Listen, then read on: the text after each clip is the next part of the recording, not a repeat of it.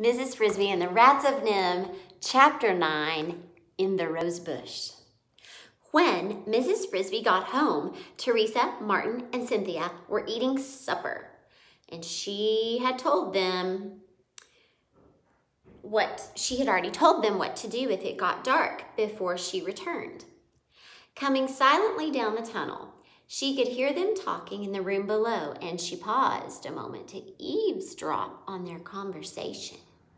Obviously, Cynthia had been worrying, and Teresa was reassuring her. She couldn't have gotten back sooner than this, Cindy. Don't you remember the crow said it was a mile to the tree? It might even be farther. Yes, but crows fly so fast. But if you went two miles high, that was Martin, it would be three miles altogether.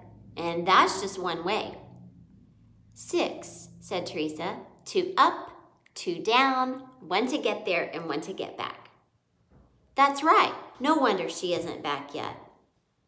But what about the owl? You know how owls are. It was still light when they got there. He couldn't see. But it's dark now, said Cynthia. Oh, I wish she'd come back. I'm scared. Not so loud, Teresa said. Timothy will hear. I'm home, called Mrs. Frisby, hurrying the rest of the way down, and now it appeared that they had all been worried, for they all ran to her, even Martin, who ordinarily avoided such displays, threw his arms around her. Oh, Mother, said Cynthia, near tears, I was so worried. Poor Cynthia, it's all right. How high did you fly? asked Martin, recovering quickly.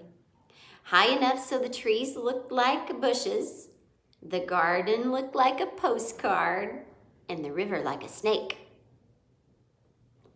Did you see the owl? What did he say? I saw him. Later I'll tell you all about it. First, I want to see Timothy. How is he? Why didn't you move his bed down here? Teresa said, I wanted to, but he said he'd rather stay in bed. I think he's feeling worse again. But when Mrs. Frisby went to see him, she found him sitting up and his forehead felt not at all feverish. I'm all right, he said. I stayed in here because I wanted to think about something. Think about what? About moving day? Moving day? Why? What about it? Had he, after all, overheard her talking to the others? Heard about her flight to the owl? But no, he was explaining. I hadn't been outdoors since I got sick, so I don't know what it's like. I mean, the weather. But today, this afternoon, I noticed something. What was it, Timothy? A smell in the air. A warm, wet smell. If you sniff, you can still smell it, though it's not so strong now. Mrs. Frisby had noticed this, of course, both indoors and outdoors. It's the smell of the frost melting, Timothy went on. I remember it from last year, and after that, it wasn't long until we moved. Mother, when are we going to move this year?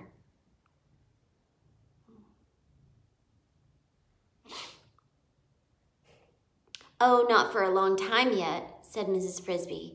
Miss Frisby tried to sound as casual as she could. It's still much too cold and too early to think about it. I have to think about it, said Timothy. He sounded serious, but calm and unworried. Because if it comes too soon, I don't know if I can go out. I tried walking a little bit today in here when the others were outside. Timothy, you're supposed to stay in bed. You'll make yourself sick again. I know, I know, but I had to find out. And I couldn't walk much. I couldn't. I only went a few steps and I got so dizzy, I had to lie down again. Of course you did. You haven't really recovered yet. I guess I haven't. That's why I wanted to think. Timothy, you must not worry about it. That will only make you worse. I'm not worried. I thought I would be, but I'm not. What I really think about is how nice it is in there in the summer beside the brook. And it's true, I want to go. When we moved, I want to go to our new house, but I'm scared.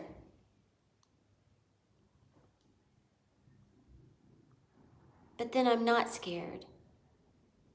I was afraid you might be, or, or maybe you would think I was, but that's what I really wanted to tell you. I'm not scared. I, I'm just going to wait and see what happens. So you shouldn't worry about it either. Mrs. Frisby realized that he had somehow switched their positions. He had somehow seen the danger he was in, guessed somehow that moving day was near, and somehow he knew that he was very likely to die. And yet here he was, reassuring her. She wanted to tell him about the owl and the rats and tell them that there was something that might still be done, but she decided she had better not. She didn't really know if they could help, and it would be better to wait until she had seen them. So instead, she said rather lamely, Timothy, don't think about it anymore. When the time comes, we'll see how you are, and then we'll decide what to do. The next morning at daybreak, she went to see the rats. She had never been in the rosebush before, never even really close to it. And now, the nearer she got, the more nervous she became. No one had ever told her, nor as far as she knew, told any of the other animals to keep away from it. It was just something that you knew. The rats on Mr. Fitzgibbon's farm kept to themselves. One did not prowl into their domain. She had, before coming out of the garden, looked around and carefully um, looked to be sure that Dragon was nowhere in sight.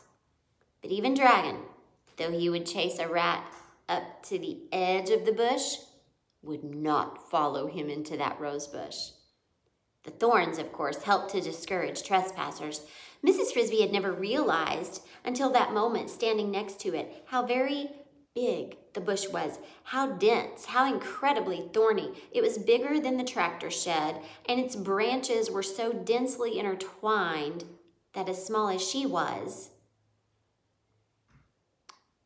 Mrs. Frisby could find no easy way to crawl into it though she walked all the way around it looking. She remembered approximately where she had seen the rats go in, and she studied that part of the bush carefully. How had they done it? How did they get in?